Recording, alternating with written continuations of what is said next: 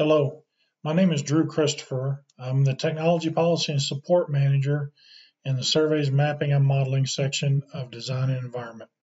Today, we will be integrating the IDOT-CAD environment with the default Bentley installed environment. This process does not work with PowerDraft at this time. PowerDraft will work if you migrate the IDOT-CAD ORD folder to your hard drive or a server. Please see one of those videos for setup options. The first thing we need to do is download the IDOT-CAD connected CAD environment from our website. To do that, go to the web page, go to the submenu IDOT connected CAD environment, click the link to download. Once you have the download complete and on your desktop, you would double click it to run it. The informational dialog will come up and tell you what's going to happen. This file is simply a self-extracting zip file. It does not make any changes to any settings on your PC. It only extracts the files contained within. In this dialog, you can see the package release date. You can see the environmental release date when we started using it internally, the version it's built on.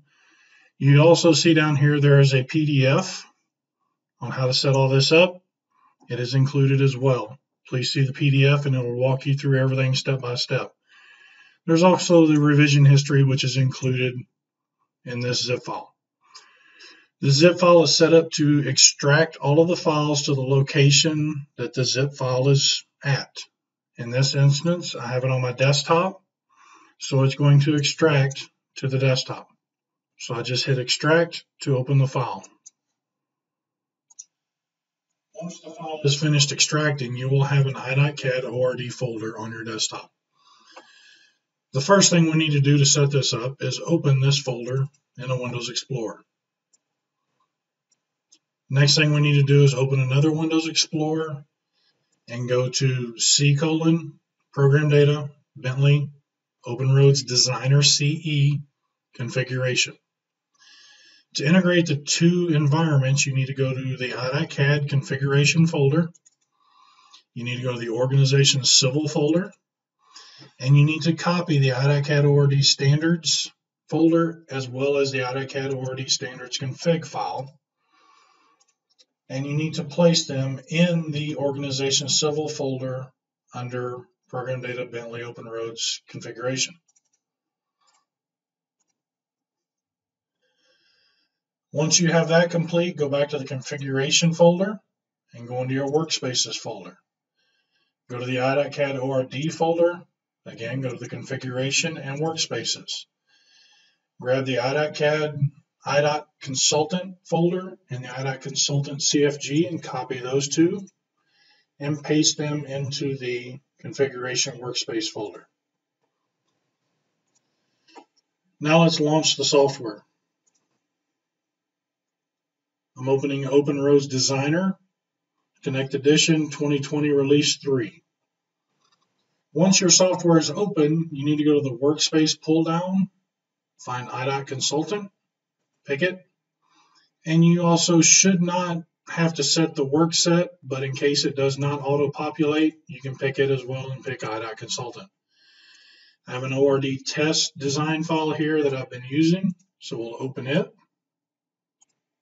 Once your design file opens, there are two quick ways to check to see if the environment is integrated properly.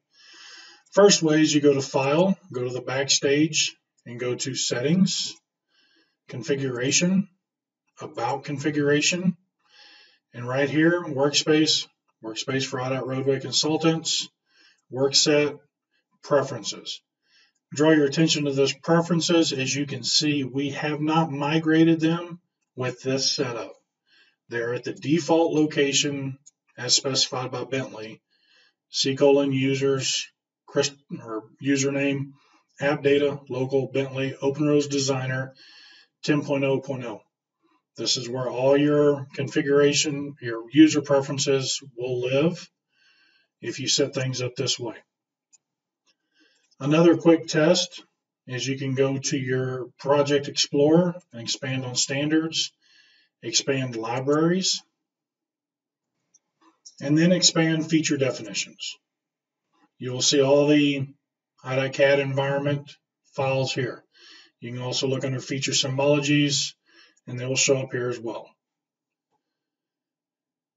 If you have any questions, please feel free to email our group email and we will get back to you as soon as we can. Thank you and have a good day.